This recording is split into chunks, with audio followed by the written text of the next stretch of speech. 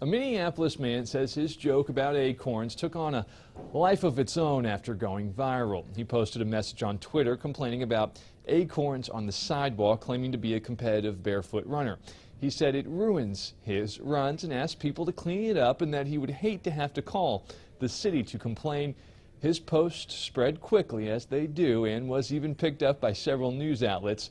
But BuzzFeed reached out to him and he says it was a joke. A tweeted screenshot of his original post received more than 67,000 likes. oh, Matt Yurus for WCCO 4 News.